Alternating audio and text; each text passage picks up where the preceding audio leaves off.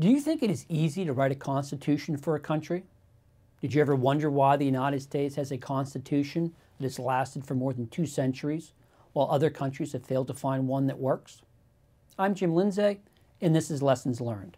Our topic today is the Articles of Confederation, which went into effect on March 1st, 1781, when Maryland became the 13th and final colony to ratify it. Most of us know all about the major battles and events of the American Revolution. April 19, 1775 saw Paul Revere's Midnight Ride and the battles at Lexington and Concord. July 4, 1776 saw the Declaration of Independence. The winter of 1777 saw the hardships of Valley Forge. October 19, 1781 saw the colonists defeat the Redcoats at Yorktown, effectively ending the war.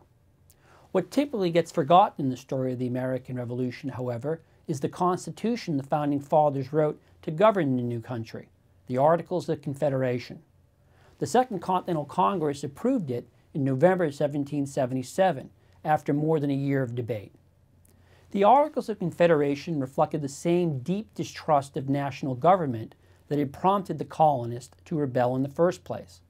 The individual colonies largely retained their sovereignty or power over events within their own borders. The one major task they gave the national government was the duty to manage the country's foreign policy. Other than that, the national government had few powers. It could not impose taxes, nor could it regulate economic relations between states or with other countries. The Articles of Confederation didn't even create an executive branch. Congress exercised all the powers of the national government. The Articles of Confederation no doubt looked sensible on paper. In practice, it was a disaster.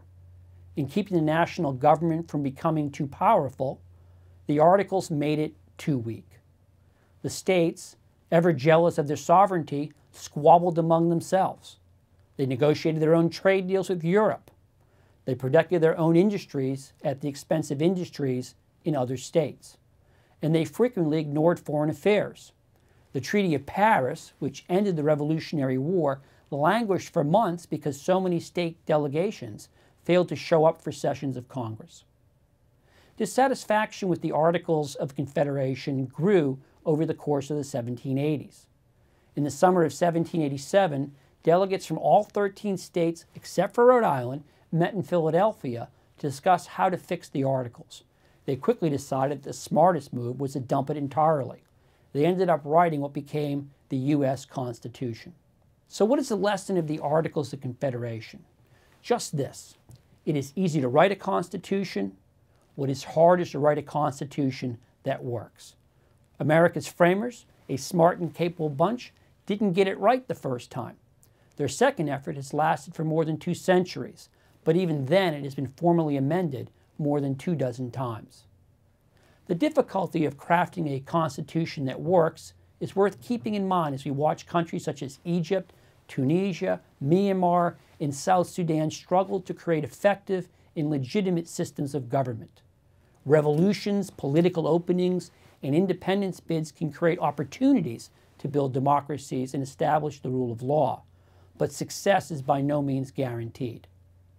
Here is a question to consider what makes for a durable and effective Constitution? I encourage you to weigh in on my blog, The Water's Edge, which you can find at CFR.org. I'm Jim Lindsay. Thank you for watching this installment of Lessons Learned.